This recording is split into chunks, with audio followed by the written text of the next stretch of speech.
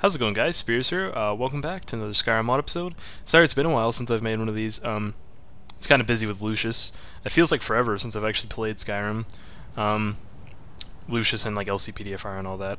But uh, I was just looking at the mod uh, workshop today and um, Skyrim Nexus and stuff and I found um, a new Lord of the Rings mod, which is awesome because I was expecting someone to do an armor sort of like this, uh, like a Fountain Guard, or anything to do with Minas Tirith.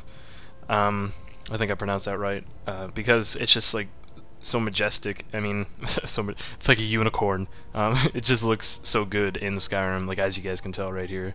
Um, my character is a Breton, I think. Um, so he's not too big, not too small. I mean, if you were a, uh, a Nord and you put this armor on, it would probably look a lot better. But um, yeah, my guy's just a, a Breton.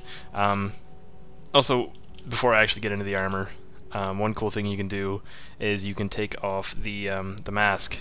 So you just have it like um, I think this was actually like the palace guard would have it like this. Like so, if they were in guarding the king, they would look like that without the mask, but if they're out in battle, I mean, they could have the mask on. Um, I personally like it with the mask on. You can take the helmet off and just have the mask on. It looks really weird, because it just looks like you know regular armor kind of. But um, on the front you have the uh, the white tree, um, and on the sides you have like branches coming off of the trees, and like leaves falling. Um, you got feathers in the helmet, and um, the uh, cross, or is it is it like a dagger or a cross like on top of Minas Tirith? You know how like at the end he ran off when he was burning.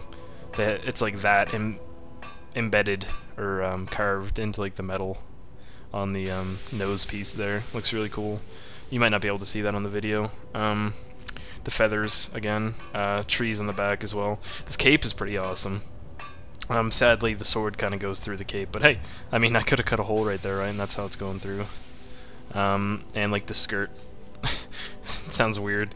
My skirt looks fabulous. No, the skirt looks really good as well. Uh, I'm just going to take out the sword here and show you guys what it looks like when he's about to fight somebody. And let's see, go this way.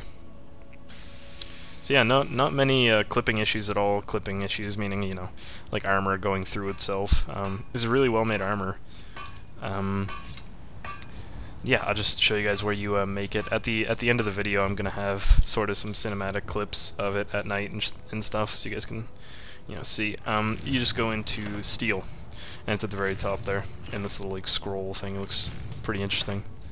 Um, so yeah, if you guys want to uh, want download this mod, check check out the description. Um, I don't know if there's any more Lord of the Rings armor mods than this one. Uh, I know there's you know weapon mods, you could download like a uh, I don't know what you would download. You could download... Hmm. I mean, Aragorn's sword when he was a ranger. That looked pretty good with this armor. Um, I think it comes with a sword as well, but I can't find the sword for the life of me, so if you guys can find the sword in the mod, just uh, post a comment tell me.